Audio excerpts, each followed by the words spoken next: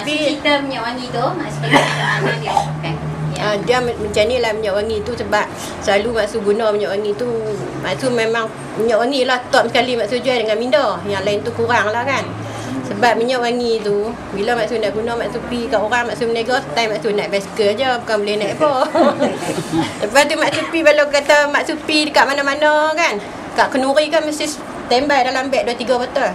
Minda minyak wangi ha, Kopi buah dalam paket tu kan. Lepas tu bila pi-pi tengok ada macam sembang-sembang tanya-tanya dia dia tanya lah duduk kat mana lepas tu ni ada masalah apa.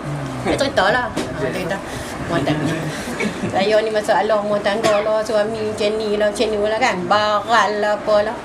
Itu kita cerita lah Maksud dah je minyak wangi.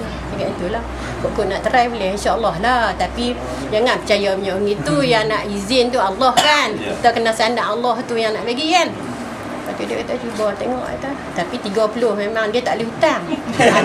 hak tu, hak tu memang punya. Kalau kita ambil kata boleh hutang, maksud tak boleh. Ha. Kalau hutang minyak wangi ni sebetul memang tak boleh hutang. Kalau nak hutang pinjam duit kat maksud bayar. Minyak wangi tu cash. Sebab nak angkat jual beli. Ha, tu. Dia pun beli-beli tu dalam seminggu pula tu dia mai.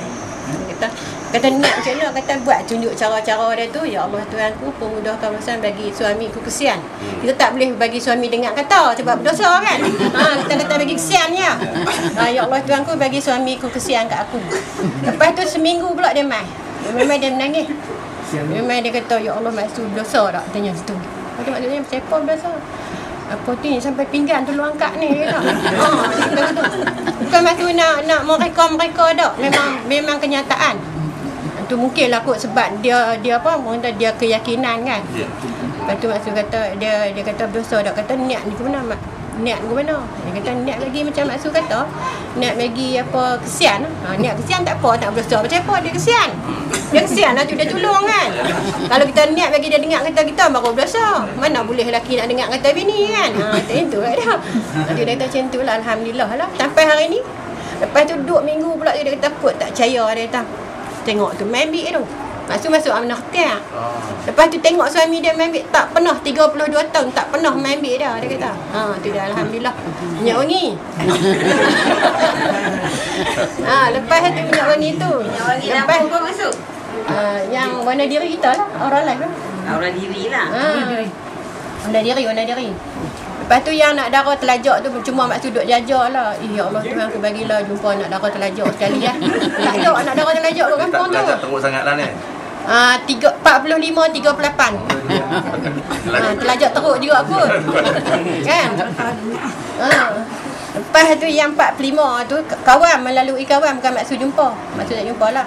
Lepas tu kawan tu duduk dekat belakang rumah lah. Jadi dia ambil. Dia ambil minyak wangi tu. Dia pergi cerita kat kawan tu. Dia kata kalau nak try boleh. Dia kata. Sebab dia kata ada orang berkenan tapi tak pernah yang jadi.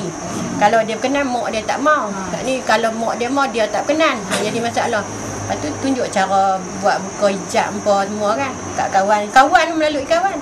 Orang tu bawa pergi kat dia kata ya Allah Tuhan ku pemudahkan urusan bagi sampai jodoh. Nikah dah dua orang. Ni bulan sebelah ni nak kenuri pula seorang lagi.